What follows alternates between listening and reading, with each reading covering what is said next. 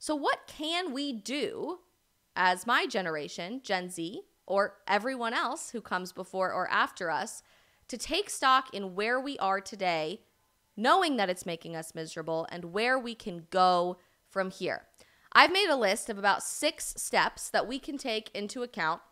And I want to know what you guys think about this because I would love to hear your thoughts on each one of these six steps, or if you have any other ones that you think we can embrace and take into account for ourselves on what we can do to live free, to live like a rebel from this miserable, upside down, horrifying culture that has become our norm in 2023, to instead live in a time and a place where we are happy and proud of the place that we can call home again. And that's not unique just to the United States of America, that's true all over the world for all of you guys watching as well. Step number one is simply to find peace in who you were designed to be.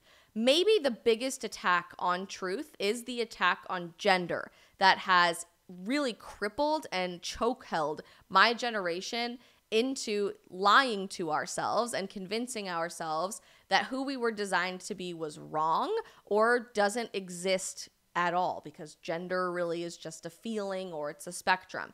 If you are a young man, run towards the fact that you were designed to embrace masculinity, real masculinity, not a video game version of what that's supposed to look like, but standing up for what's right, fighting against people in power when they abuse that power, protecting the people in your life from what's evil and wrong and dangerous, embracing your own strength and taking care of yourself so that you can give back to others. Similarly, if you are a young woman, embrace your femininity. Don't be afraid to embrace your womanhood. Who you were designed to be as a woman is amazing is the coolest thing that the world has ever known. The capacity that you have as a woman to grow and create life, to care for other people, is the most punk rock, badass, incredible thing that could possibly have been given to you. Stop buying into the lies that you need to be subservient to a male CEO at a major woke company who's going to pay for endless abortions for you instead of the natural and innate desire to want a family. Stop believing the lies that your identity, your gender, your biology is wrong and that you should be taking testosterone, which you can just walk into a Planned Parenthood and walk out the same day with no history of gender dysphoria because you're going to be a lot happier if you're a man. Stop buying into the lies that womanhood is something that can be replaced by biological men wearing dresses and posing with brand deals and ad sponsorships from Tampax and Nike and Kate Spade and Bud Light and so, so many others on your TikTok For You page because who you are, who you were designed to be, is beautiful and should be embraced and run towards and fed into and inspired and growing every single day rather than something that we run away from. Alex Padron in our locals chat says masculinity isn't toxic. Embrace it. Facts. Masculinity isn't toxic. Uh, and I absolutely love that statement. We should be embracing that. And women, we should be embracing femininity. There's nothing wrong with acknowledging a reality that men and women are different. That doesn't make us unequal in society, but that does allow us to fully complement one another and lift one another up and push each other forward into something better than us trying to convince ourselves that we are all exactly the same when we're not. And I think that's just right in front of our face, right? It's hard for us to even deny it, but we're in the upside down where we're trying to deny that every single day. Emrock on our locals chat says the feminist message is toxic and hurtful to women. It is because instead of just embracing who we are and who we were designed to be, the feminist movement in America today is encouraging us to run away from every single thing that makes us a woman to make ourselves more like men, and vice versa, by the way. They cheer on men who pretend to be women, who identify as women, far more than they even cheer on biological women. It's upside down, it's crazy. But step one of how you can live like a rebel in 2023 and embrace a more fulfilling and wholesome and peaceful life is to find peace in who you were designed to be, man or woman.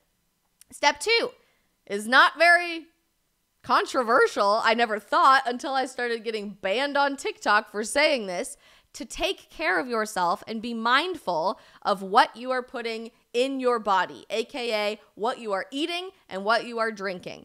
Our culture today has created an entire false narrative about embracing obesity, about letting go of our health, and giving zero regard whatsoever to what we are eating and drinking every single day, to the point that the new food pyramid literally says that Lucky Charms marshmallows, Lucky Charms marshmallows are healthier than steak that eggs are terrible for you, that we should be lab growing our meat or creating meat alternatives rather than eating protein that was designed for us to eat, that human beings have been consuming for our entire lives? I don't know. I don't know. It's a little crazy.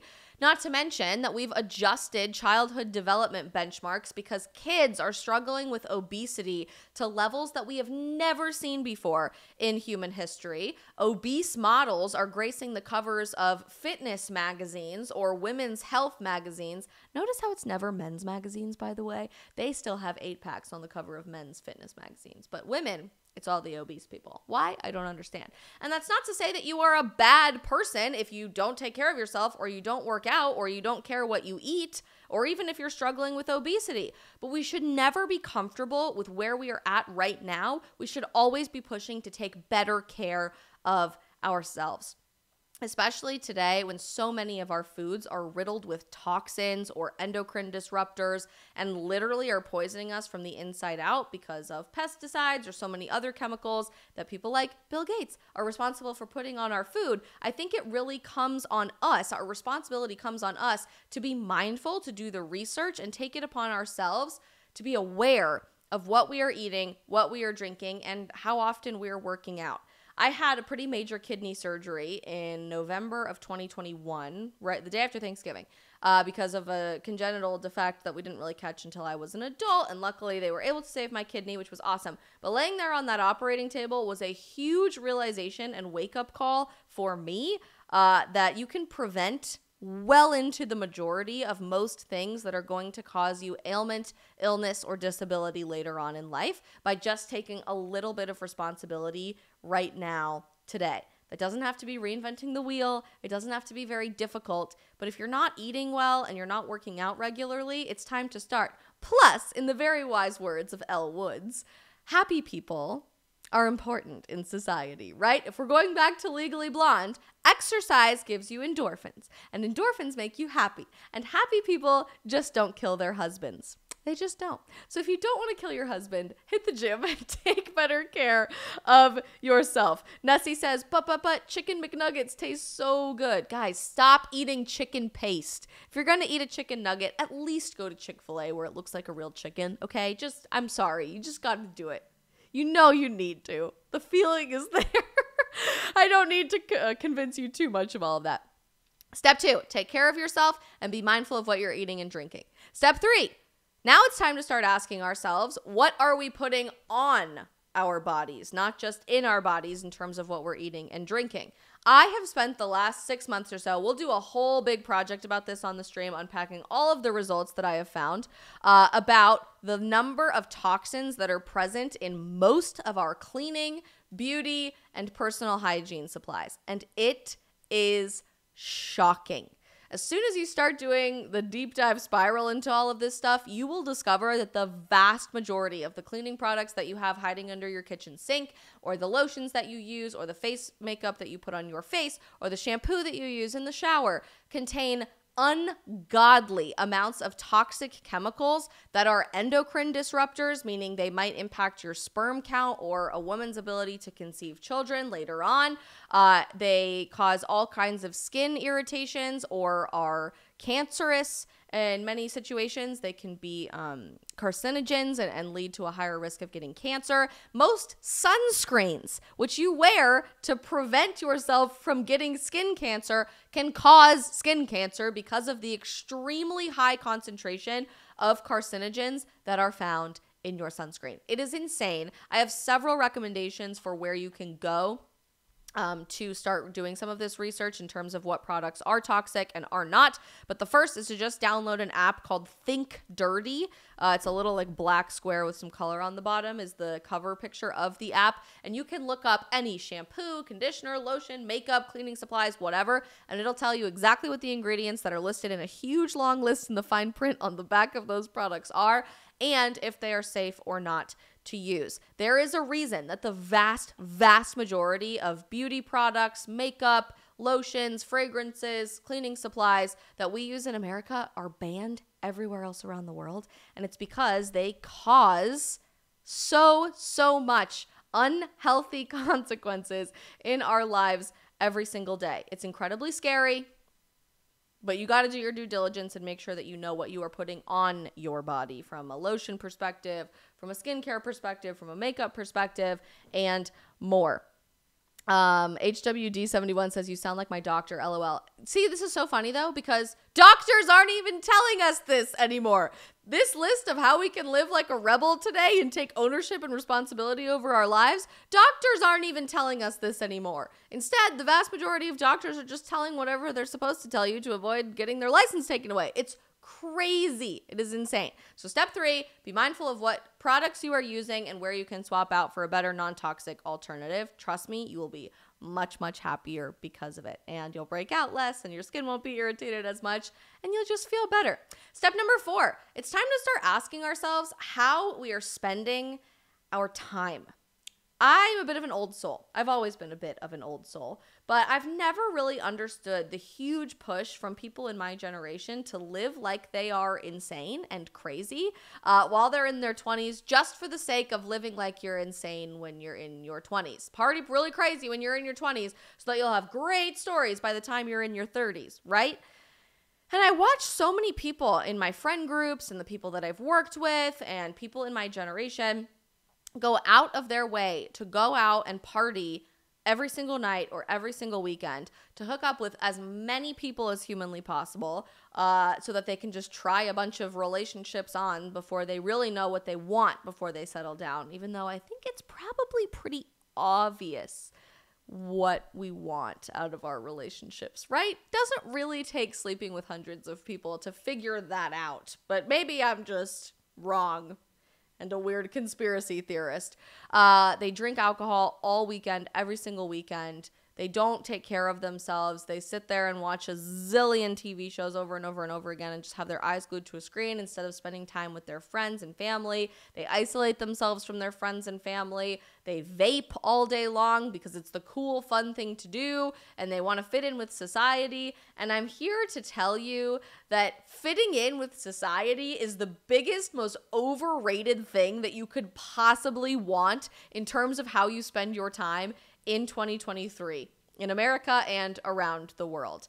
Every single day, you should be asking yourself, how am I spending my time today to become a better version of myself, to make the people around me want to be a better version of themselves, uh, and to give back to the people in my family, in my community, in my country, and in my world because true satisfaction and happiness does not come from going to endless bars and clubs every single weekend. It does not come from toxic hookup culture and sleeping around with as many people as you possibly can. It does not come from doing whatever you want, whatever culture we've decided that that has existed in. I've never understood what that means, by the way. Uh, it comes from being intentional with how we spend our time. Read a book. Shocking that those still exist, by the way, I know. But read a book about something you've always wanted to learn about or someone that you really value what they have to say. Maybe turn off your screen and go outside. Shocking. I know. Not a very common thing to do, but spend 30 minutes walking around the block with your dog or with your friend or significant other instead of sitting there watching another episode of TV. Clean your house. I came home the other day. I'm very bad at cleaning my house, by the way, but I came home the other day from like two months on the road and walked into my apartment and it was absolutely spotless and thought, wow, this is what it's like to live in a clean house all the time. Imagine if I spent 10 minutes a day doing this. The intentionality that we spend with our time creates unbelievably stronger, happier, healthier, more fulfilled versions of ourselves and we should run away as fast and as far as we can from every single thing that society tells us we should be spending our time doing, living like we're crazy in our 20s just so we can have crazy fun stories later on down the line, which by the way are never as fun and crazy as you think they're going to be. But go outside, touch grass, see the sunshine, be intentional with your time. That's step 4. Step 5, ask yourself who am I surrounding myself with? They say that your personality and how you view the world and your perspective on the world is a culmination of the five people that you surround yourself with the most often. That's it. It's a pretty intense realization when you sit down and really think about it. The people that you talk to every single day, the people that you interact with every single day, the people you go to work with every single day, those five people that you spend the most time with are influencing every single thing about you. When you look at them and their lives and how happy they are and the type of life that they are building and living right now, is that the life that you want to live? I've had to be incredibly honest with myself many, many, many more times than you guys realize and tell myself in the moment, this is not the life that I want to live how these people are conducting their time, what their moral code is, how they speak about others, what their faith life looks like. I don't want to live like these people do. And it's been really hard to cut myself off from some of those people, but it is the best thing that I could have ever done. That doesn't mean that I have hatred towards them or I think that they're bad people, but it's not the trajectory or the path that I wanted for my life. And instead, I had to go out and be intentional and find people who speak truth into my life and who live their life with intention and have everything based in faith and take great care of themselves and want to pay attention to the important things in life that I think are very, very important. Uh, and that's a really hard realization if you're hearing that right now and you're thinking, uh, yeah, my friends party all the time and they sleep around with everybody and they do drugs all the time and they drink way too much alcohol and they never go to church. It might be fun for like five minutes, but deep, deep down, I kind of know that I don't want to live my life like that. It can be very difficult to walk away from that, but I can promise you it is the best decision that you possibly could make in choosing who you surround yourself with. In our locals chat, Johnny says you are who you surround yourself with and you are who you pay attention to. So even beyond who you are directly surrounding yourself with with your friends or your coworkers or your significant other, the most important person that you surround yourself with, who you listen to and who you pay attention to matter just as much, especially in this world of independent media, of independent commentary, uh, and of where you are consuming your news and information from. Every single person that's watching this stream, I guarantee hasn't turned on corporate news in quite a while, at least a couple of weeks. So thank you guys for choosing this instead. But pay attention to who you're following on social media, what live streams you're watching, what podcasts you're listening to. Who you pay attention to, whether you realize it or not, does influence your opinions, your values, your perspective on the world.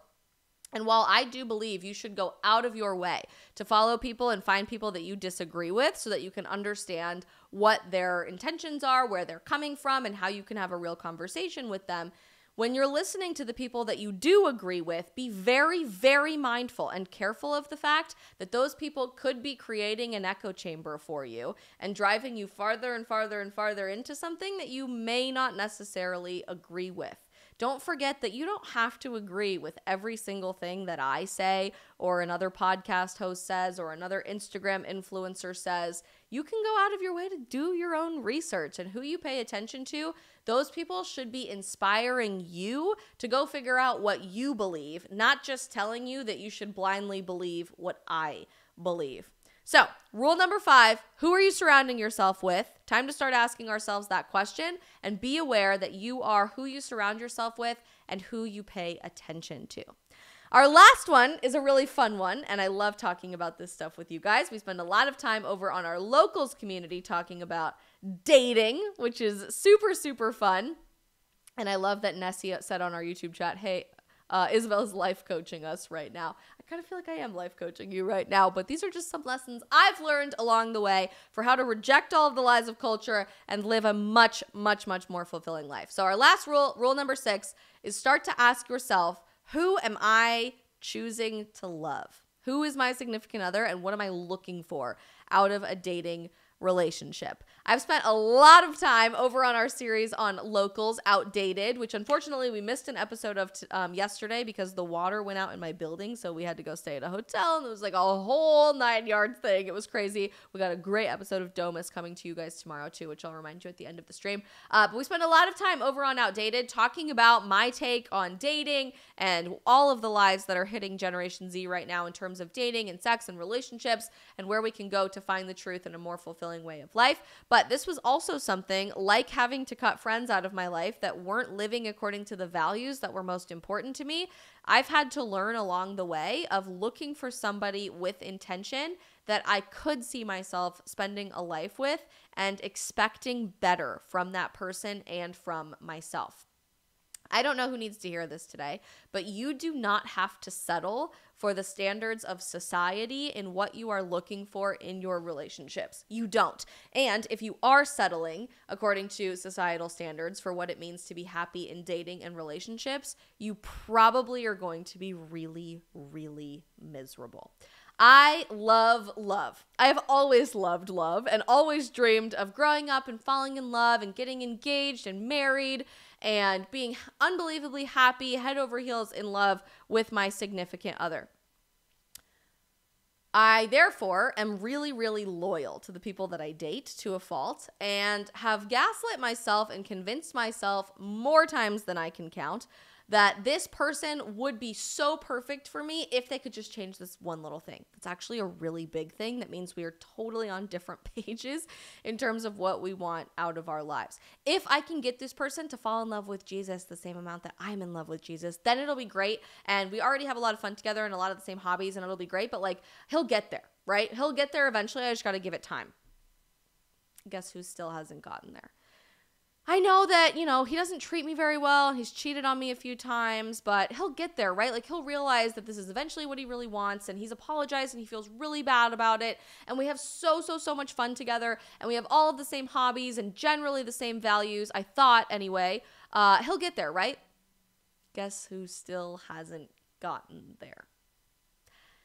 He says that he's really politically conservative, but he treats people kind of not that way. And then we get in a lot of arguments about these really important political values that I think really shape your outlook on the world. Like, I can probably convince him, right? I can probably change his mind on this issue or this issue or this issue. And then we'll be on the same page. And then it's going to be fantastic and, and we'll be happily ever after. We'll get engaged and we'll get married. We'll be happy ever after. Guess who still didn't get it? It's unbelievably difficult, especially when all of the emotions of dating are like wrapped up into one. And this was just my experience, by the way. Other people have dramatically different experiences. To pull away from that and realize that God has designed something so much better and perfectly tailored towards you if you are courageous enough to go out and get it. I don't know who needs to be told this today, but you deserve better than the societal standards we have accepted as the norm or even as good in dating and personal relationships in 2023 America and around the world. You deserve better. You deserve better than somebody who's going to text you at 3 a.m. and say, You up after ghosting you for two weeks just so that they can hook up with you and not call you again for a month. You deserve better than somebody who says that they are in the talking stage with you and they just want to figure things out they're not ready to commit to a label because they're kind of also seeing four or five other people at the same time and they just want to figure out what's going to make them the happiest but you're super fun and you're super cute and I want to have you around and I want to keep hanging out with you. You deserve better than that. You deserve better than somebody who says, I just love you so much that I have to have sex with you right now and we are not waiting because I just can't contain my love for you. You deserve somebody who's going to say that they respect you enough and they care about you enough to wait until you are married.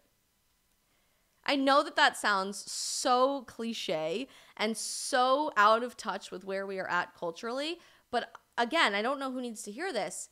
Those people are out there. Those people are out there and they will become those people. They will get it and rise to the occasion if we redefine what the social norms and standards need to be in our most important relationships. There is no coincidence whatsoever that we are the most miserable we've ever been in our personal lives and in dating when we live in a culture and society that says we can and should do whatever we want with no strings attached and absolutely zero consequences for our actions. There's no coincidence to me that we are that miserable for that exact reason. We've convinced ourselves that sleeping around, that getting as many abortions as we need to get as a form of birth control, that refusing to settle down, that dating multiple people all at once, that never putting a label on anything because that weighs you down, that all of those things are going to make us happy, and they're not. They've made us unbelievably miserable. There was a time when I actually really doubted and wondered if I would ever meet the person that I was supposed to spend the rest of my life with. And I think most young people do feel that. They feel the pressure and they feel this need to settle for whatever situation that they are in right now. And I don't know if you're a boy or a girl struggling with any of this. I don't know what your current situation is, but I'm here to tell you that our last rule, and maybe our most important rule for how we can break free of the lies of modern culture and society and embrace something happier and more fulfilling, is to demand better.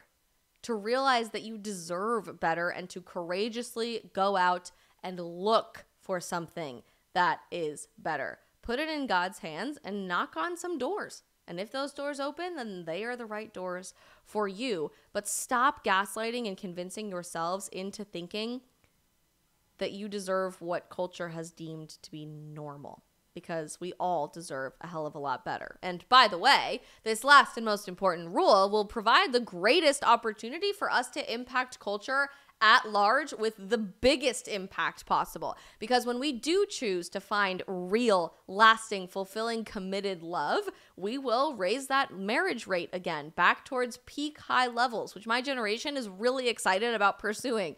We will build beautiful, strong families in a world that is rejecting the very concept of a nuclear family and saying that we should outlaw a nuclear family or prevent that from existing. Strong relationships lead to strong families, which lead to strong communities, which lead to strong societies as a whole. And it comes down to us, to our generation, to embrace something better in every area of our life, but particularly in our most important relationships, to change culture at large so that we're not living in the upside down anymore. We are back to living in reality. And that would make me very, very, very happy. I'm sure it would make you guys very, very happy as well.